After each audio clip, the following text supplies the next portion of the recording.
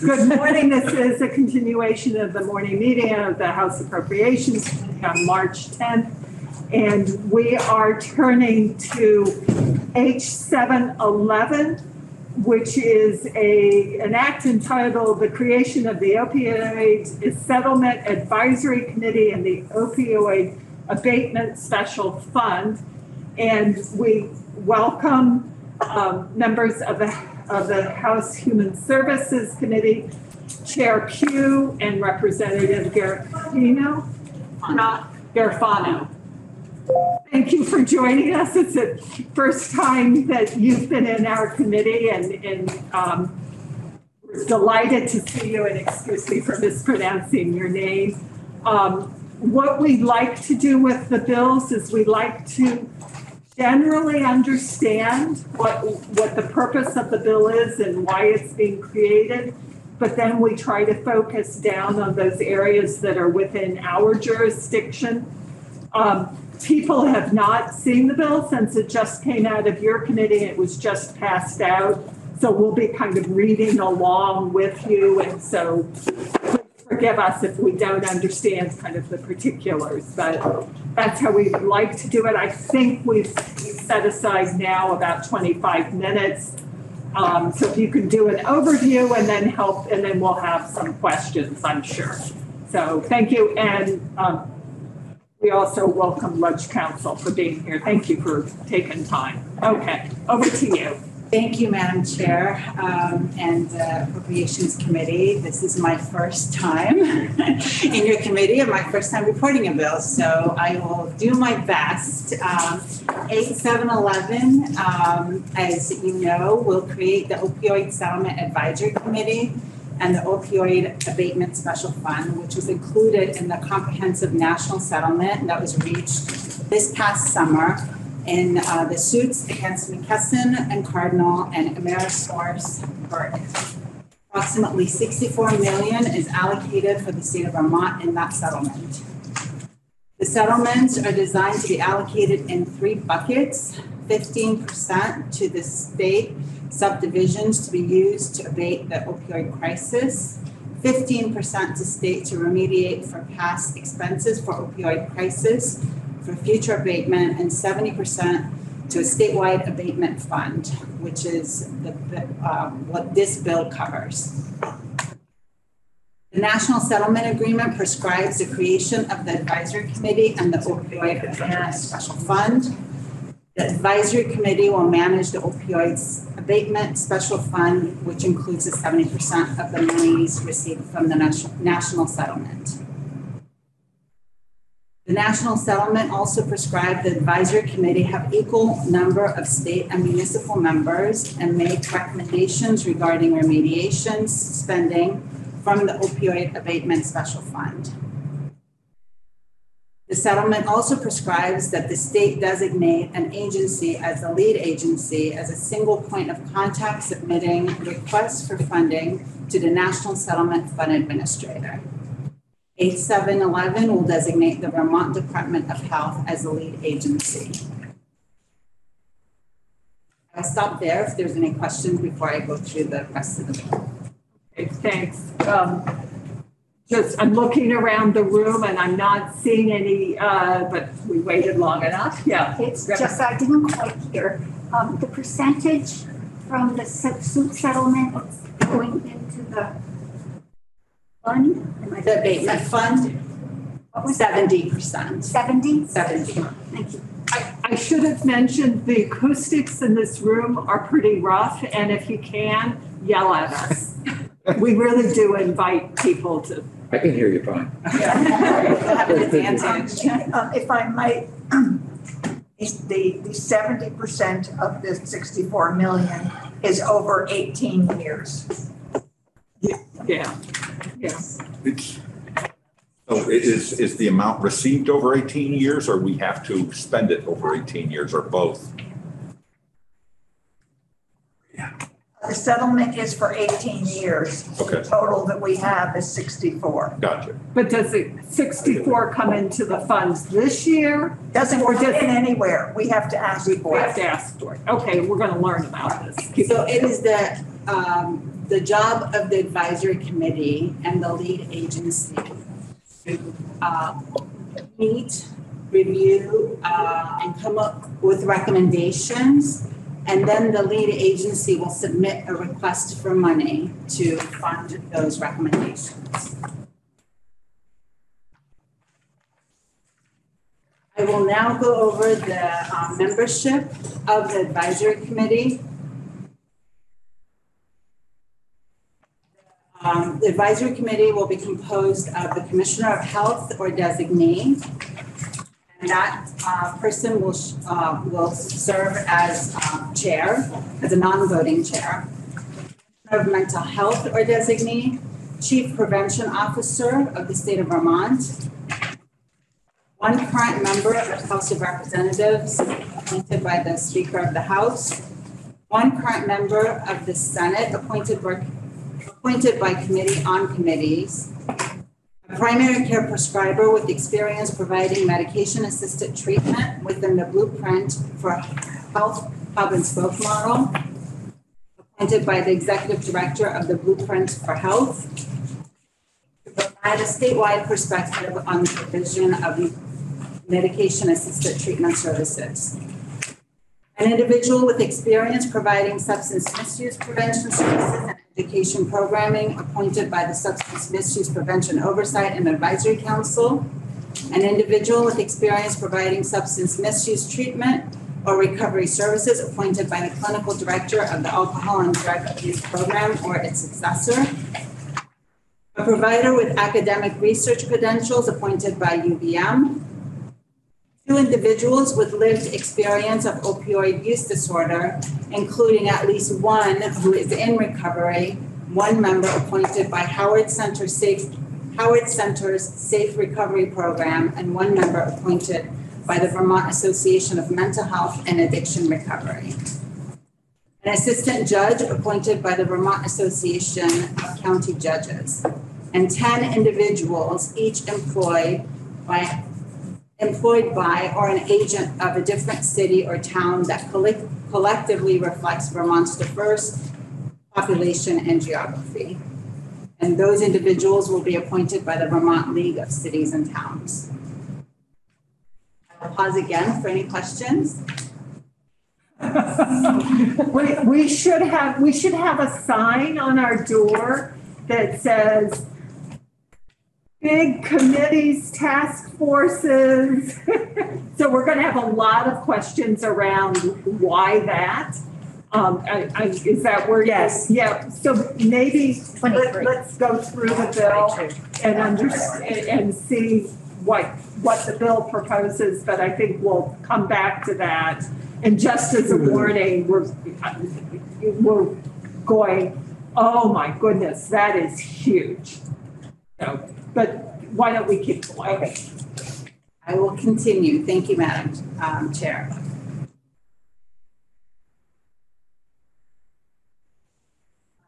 I'm going to skip over the term of, uh, of the advisory committee and, um, and the removal process and move on to powers and duties. The advisory committee shall demonstrate broad ongoing consultation with individuals living with opioid use disorder about their direct experience with related systems, including medication assisted treatment, residential treatment, recovery services, harm reduction services, overdose, supervision by the Department of Corrections, and involvement with the Department for Children and Families, Family Services Division.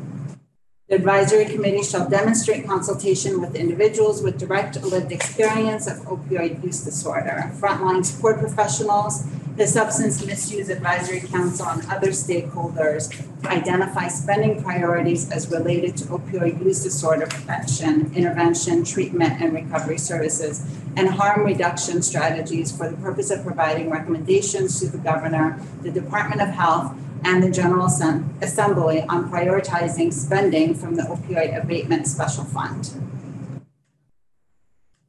The committee shall also consider the impact of opioid crisis on communities throughout Vermont, including communities' abatement needs and proposals for abatement strategies and responses. The perspective of and proposals from opioid use disorder prevention coalition, recovery centers, and medication assistant treatment providers and the ongoing challenges of the opioid crisis on marginalized populations, including individuals who have lived experience of opioid use disorder.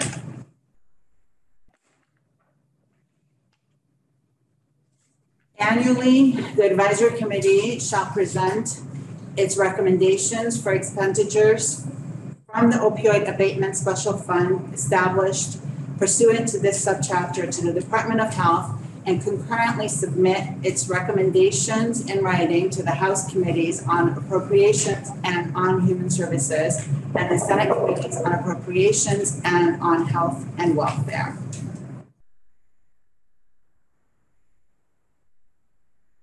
Committee shall uh, have their first meeting before June 30th of 2022.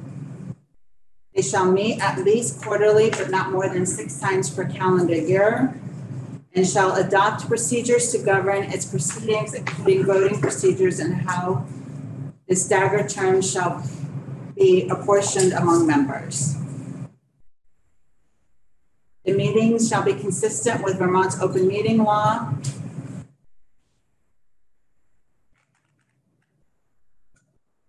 And uh, the members of the General Assembly who are serving on the committee are entitled to per diem compensation and reimbursement pursuant to uh, 2 VSA 23. Other members of the advisory committee shall also be entitled to per diem compensation and reimbursement of expenses as permitted under 32 VSA 1010. I've already mentioned that the Department of Health shall serve as the uh, lead agency and the single point of contact for submitting requests for funding to the National Settlement Fund Administrator. Approved requests shall be dispersed to the department for deposit into the opioid abatement, abatement special fund established in section 4774 of this subchapter.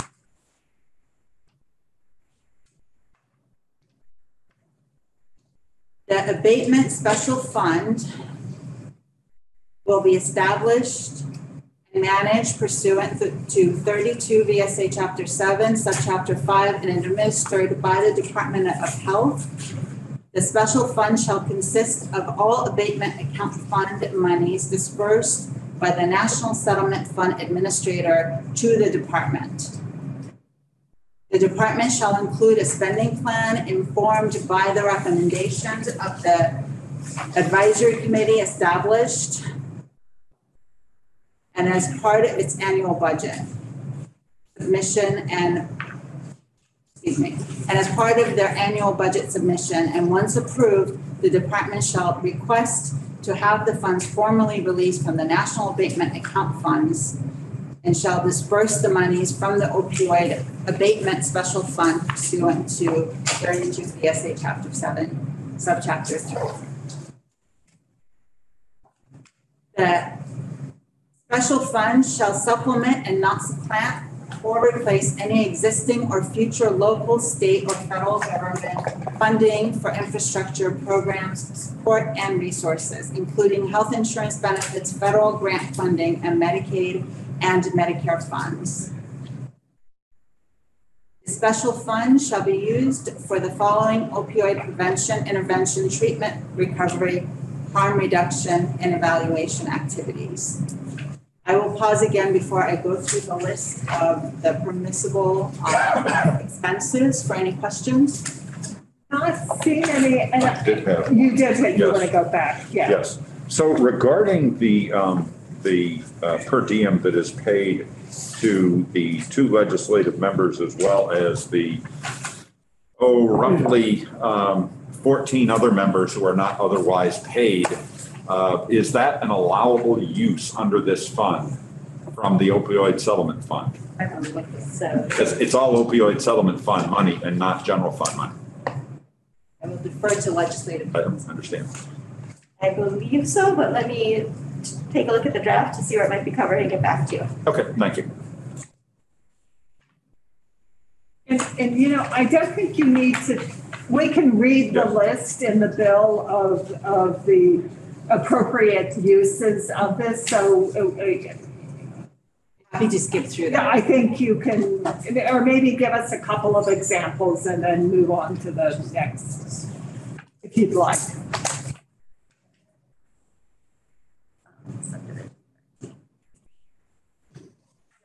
Uh, The answer to the question about the permissible of the per diem is, Um, so the- on page nine, um, there's a list of permissible expenses and subdivision thirteen on line fourteen is the cost of administrative, technical and legal assistance provided to the advisory council, so that would cover it. Is there a percentage that can be used or is it just It's not our cost? Okay, thank you.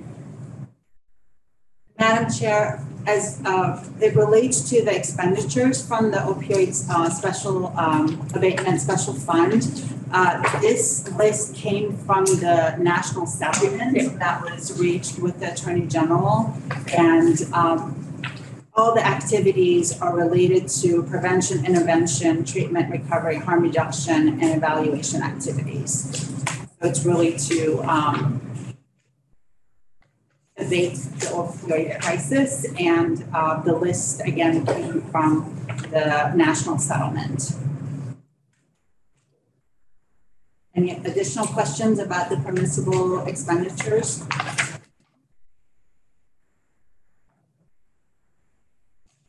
I think we can keep going. Great.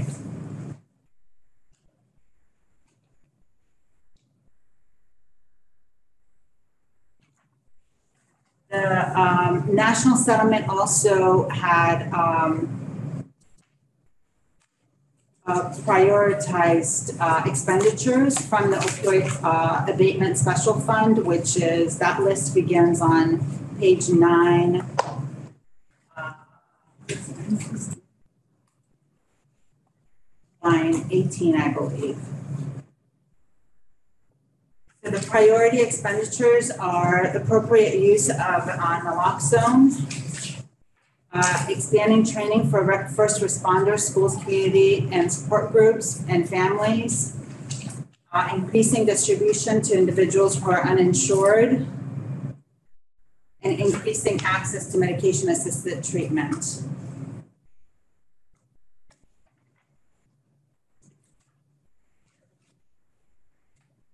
Um,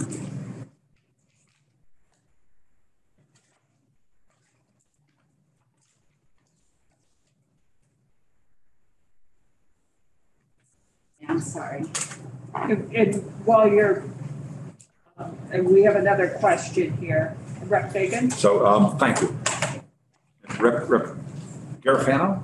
Garofano. Garofano, okay, sorry.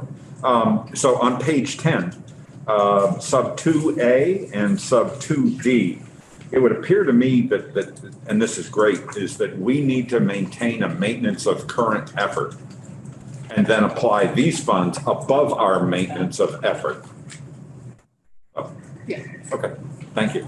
I, I, yeah, Somewhere in here, I think I saw like that these funds may not supplant Correct. existing efforts that they are on top of. correct, or in the future, so, yeah, so Yeah. hence my comment Yeah. about maintenance of effort. Yeah. Thank you.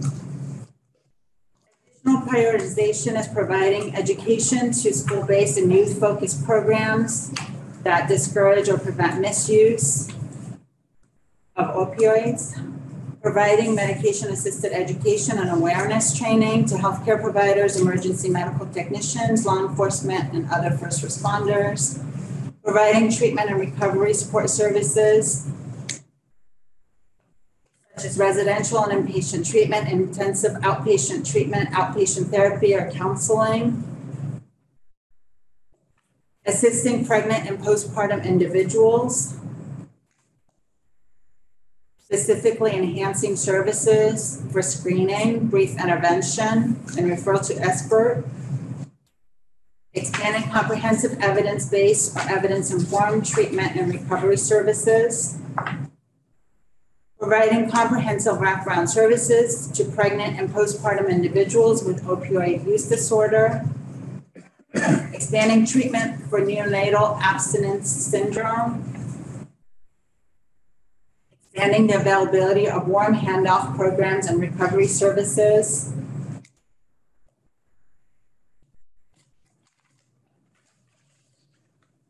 and treating incarcerated populations.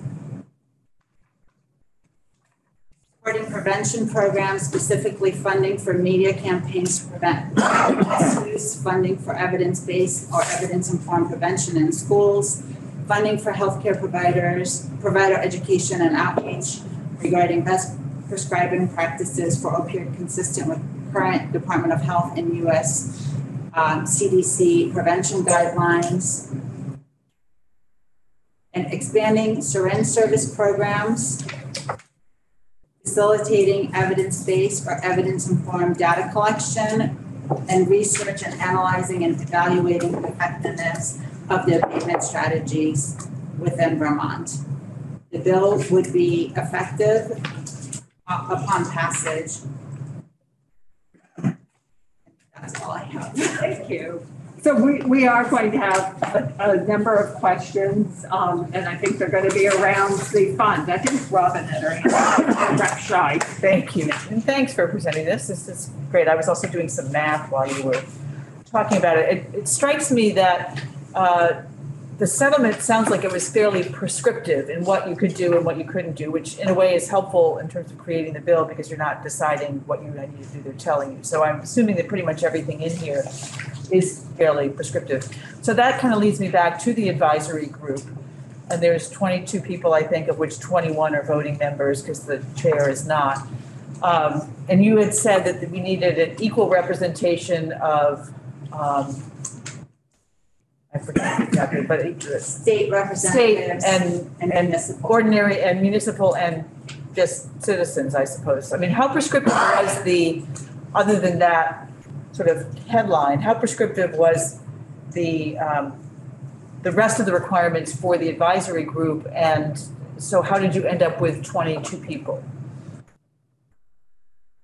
We heard from, um, in testimony, um, and on who would be best, uh, able to represent this community and make recommendations to, um, General Assembly and, um, the lead agency on how the funds should be expended.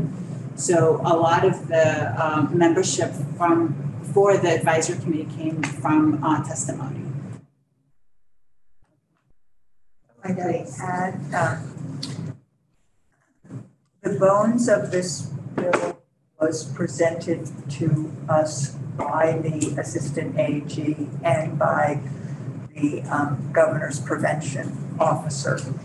Um, I don't know, and Ledge Council may be able to tell us um, what besides the need to be an equal number and the local has to do with those localities. In other states, it was maybe counties, but for the most part in Vermont, it was, there were some towns, there were, I think, nine towns who uh, engaged in the lawsuit. And so, um, um, uh, not that each one of those towns are necessarily identified in the statute. I mean, you know, but it is the League of Cities and Towns part of their job in, in the diversity of the cities and towns who either participated or whatever, they get to pick a bunch of people. They get to pick ten. Right. And the other is an assistant judge, that's another local, so that's where the eleven comes in. Because in fact, you know this probably better than we do. Um, assistant judges are, are county uh, Ah, yes.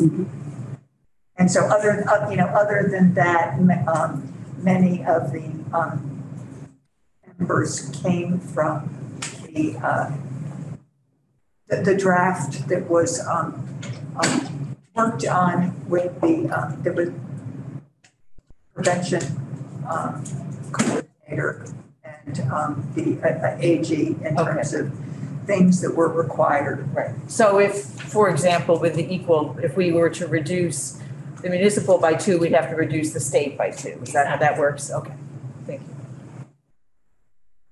Um, There are other questions over here? I wish I could remember what it was. Okay, yeah. So, um, you're required to set a special fund. This, the national settlement says there has to be a special fund. There's no way around that. Um, I, I'm asking this and this will be for future when, when there are conversations about other things. In, in this committee, we really don't like special funds. Um, and if there were a way not to have a special fund, we would try to do that, but we have no choice, so we have to have a special fund. Um, and so it- you've been very clear about the uses of it. Um, and again, that's very prescriptive, so it, it seems like we don't, there's not a lot of room for a conversation about that. So coming back to what our jurisdiction is, I think we are down to, one, just making sure the special fund is created in a way that it makes sense to us. And then I think the other area is the um, task force, because that creates an appropriation, even if it is out of a special fund. We think about that as an appropriation. The fact that it's a special fund doesn't mean we don't pay attention to how it, how monies are spent there. Um, so I think those are the two areas that the committee are we kind of focused down there. So Jim, then P, uh, Harrison and Rep Fagan, we've been being informal because we haven't had witnesses, so I forget people's proper names. Rep Harrison. Yeah, um, thank you. And going back to the, uh, list of items you can spend out of this fund. Um, I noticed one of them, for example, was, uh, syringes and, and whatnot. We just, I thought we, we just did, I know in the BAA, we did an extra appropriation for syringes, uh, for Recovery Center. Could that have been applied to the fund? I, Well, it's Why not? not maintenance of effort, and this was an unusual one above whatever our standard would have been. No, that the, the, the organization that we provided that to Oh. provides syringe exchange services in the state of Vermont and was absentmindedly uh, left off the list. Okay, There, so- there are four actual organizations. This one is actually headquartered in New Hampshire, but provides a lot of coverage. But, but there was also Vermont places we did too, Yes, and it was an extra appropriation. it was, it was an extra, the, the extra appropriation, um, I'm trying to remember here, was just for that one organization because it was left off the list. Now, there is a request for money in the, in the uh, budget, but there, but the BAA was that one organization. It, again, provides a lot of coverage in the, what do you- what do you call it, the Springfield, the valley there. Yeah. down that area. Okay, so about the money in the budget. So here's the maintenance of effort issue. Yeah, so then And- people and- will need to watch that Yeah. carefully, Yep. yeah. Okay. Okay, um, was there, Yes, I did. yeah, Peter, or So- Rep Fagan? Thank you. So, um, when do, I have two questions. When do you envision the first money going out as a result of the work of this group? I believe the health department, who will be the lead agency, is intending for the for the committee to meet in this fiscal, coming up fiscal year. And then uh, the funding request to initiate after that. So they, they can make recommendations and request the funding and get the funding. So it would, um, I believe will be uh, fiscal year twenty. Three.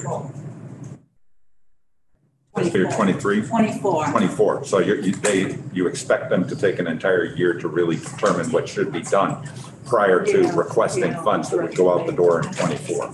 So the, the bill um, anticipates that it goes through the budgeting process. So the advisory committee is Gotcha.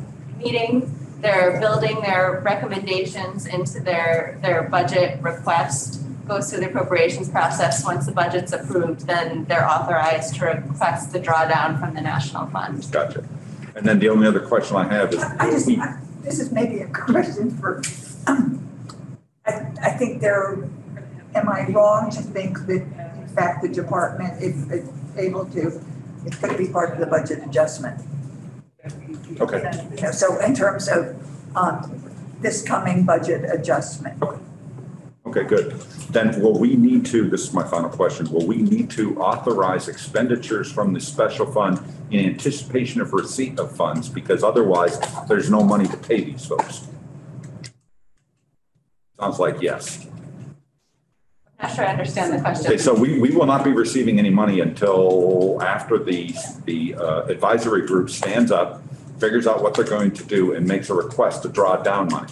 Oh, But all of the funds to pay the advisory group are embedded within the Yeah. money that you intend to draw down. So we're going to need to, uh, we're going to need an amendment to borrow in anticipation of the receipt of those funds. Yes. If you would kindly draft that, please. Thank you, Ms. McLean. Um, uh, I, I just watched the clock and I just realized we lost a half an hour with it. There were over, overtime here. Um, but Rep. Feltus? Well, I, this is how the uh, Volkswagen settlement works as well, in terms of we got so much money over eighteen years. Right. We have to ask for the money and then spend, or actually, we spend it and we get it Yeah. Back. Rep. Shine? Thanks. Uh, just on the, um, the two fifteen percent, so each of those is nine point six million, if my math is correct. And, uh, one is for like current opiate abatement and one is for, uh, could you re- just tell me again what those two categories are? Future. Prevention in the future, abatement for the Right. past. And the fifteen fifteen is not part of this bill, so Yeah. don't ask us about it. Oh, so you're only talking about the forty percent, so you're talking about the forty-four point eight million to set up, setting up the fund, that's the money that will come in, not the, right, not, uh, seventy percent of sixty-four million is forty-four point eight million. Right, right. This is just, so there are three buckets coming in through the settlement. Okay, A state bucket, a local bucket, those are both fifteen percent each. And then there's the abatement bucket, that's seventy percent of the proceeds of the settlement. And those are what is um coming through the special fund and what the advisory committee is authorized to. okay, so the, those, the, the other thirty percent won't have anything to do with the general assembly. Um, uh, the state bucket, I put, I think the state One- book. second one, but but That's, not that's, that's not us. But not now, okay, and so, so you have just under two and a half million every year coming in to spend on these things is the, is the math, so two point eight nine million, okay. I got two, po- oh, two point eight, I got two point six. Just clarification, there's two settlements there. One of them is like ten years maybe, and the, or eleven years, and the other is eighteen years. I don't think the whole sixty-four is out of eighteen years, if I remember my notes correctly. and I'm not sure about, the i- the idea behind this is that there could be multiple settlements coming in. So you're. And that the language is um general enough to be able to be a mechanism for all of those settlements to kind of flow through. Um, my question is around the twenty-two member, um, committee. And that is enormous, um, and interesting issues around just managing such a large group, but why, why could we, could it be smaller? Could you half that? What would As Chair Pugh mentioned, that the bones of this did come from uh, the Attorney General's office and the state's chief prevention officer.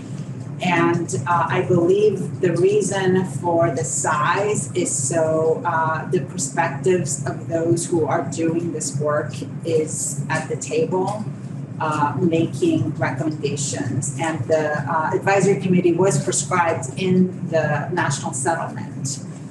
Having one was prescribed, but not the number or the composition. Right. So that is something that is in your jurisdiction or our jurisdiction as to the number and the makeup I understand that there needs to be some proportionality and representation. We discussed that earlier.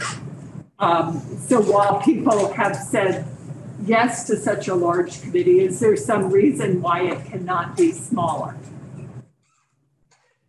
And I'm just, the, the, the large committees are difficult to manage. Uh, They're expensive. I mean, you're going to be spending um, just under $15,000 a year just to gather people to have a conversation, um, cutting into the other funds available.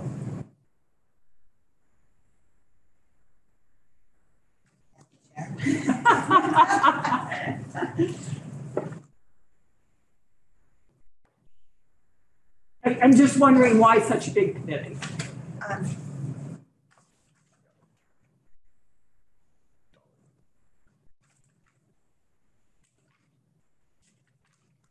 I think on some level, it is exactly as um, Representative Garofano has outlined. Um, And one, in terms of as the chief prevention officer and the um, assistant attorney um, general um, had had conversations with myself and with the chair of Senate Health and Welfare. They identified um, and um,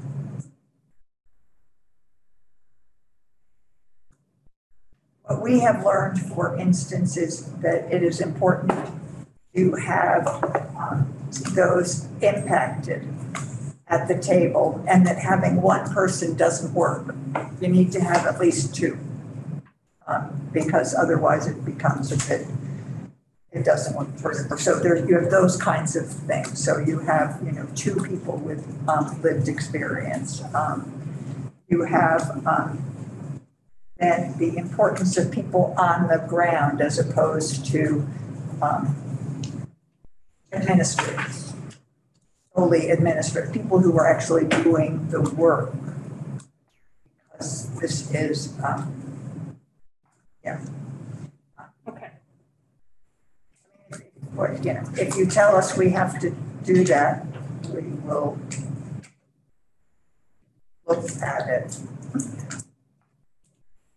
This is an ongoing conversation Yeah, I- that we're I- having in this committee, and we are actively saying, um, a- asking members of the House to really be thoughtful about how necessary is it to have, have committees at all. We, we understand here that it is, I mean, then I- to be size. honest, and I will, I don't know if there was, I mean, I do think, I believe it is, and I'm looking to, um, um, to legislative council. I believe that there were nine cities I recall if it was nine. who, who actually were part of the, uh, you know, sued themselves. And so there was some thought that whether or not it was those exact nine, but that that's, so you start there and then you need nine, and so right there, there's eighteen. Um, and then you don't, um, I- I- that's sort, that's sort of what, um, and uh, how much, I'll I'll be on, you know, how much we could say, take the commissioner of mental health off. I no, because we, because we already have the chief prevention officer and the health department. And, um, I believe, yeah, um, and then, you know, that, that would get down to twenty. I mean, but that's, Yeah. because we would cut off one, but I, you know, um, Okay, we may want to just have a, a conversation about that. Um, Representative, uh, the way we do our work in our committee, each of us is respon each of these guys is responsible for a budget area. And then the bill that is associated with that budget area um, is tied to the, re- that, that reporter. So Rep. Fagan has the health department, substance use disorders, and so he'll be asking questions um, about this as we understand the bill and, and, you know, form our recommendation for how, for, for the bill and think about it before we vote. So um,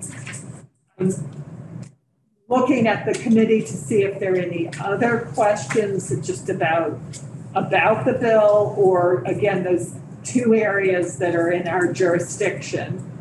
Uh, not seeing any. Um, yeah, Rep.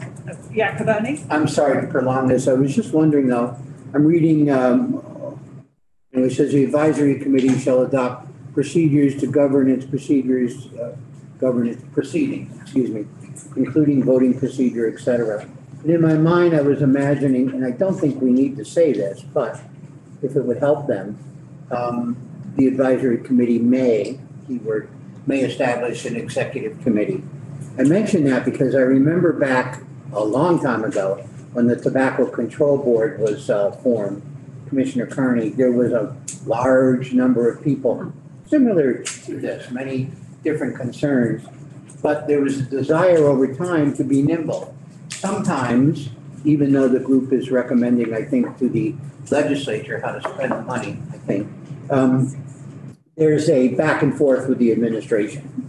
They may at some point say, we want to use some of these dollars to match Medicaid, um, the special funds, it's not Medic, it's not federal, matching federal, et cetera, to do ABC. And the adminis- administration may say, yay, nay, how about this? And to convene twenty-three people back to those kinds of back and forth discussion, yes, ca- can be cumbersome and a real challenge. So I wanted to ask Ledge Council, d- do you think the advisory board has that kind of latitude? Should they want to anyways, or does it have to be stated?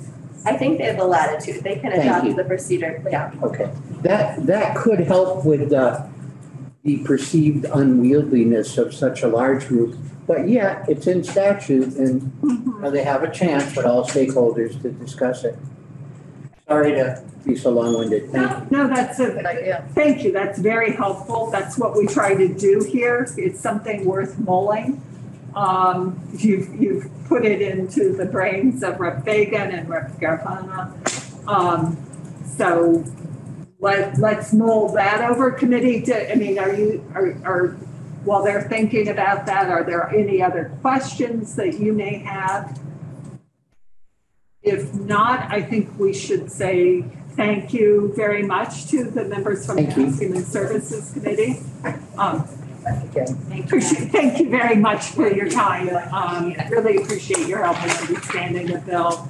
We'll be in touch about how this is happening or how we're managing it. And with that,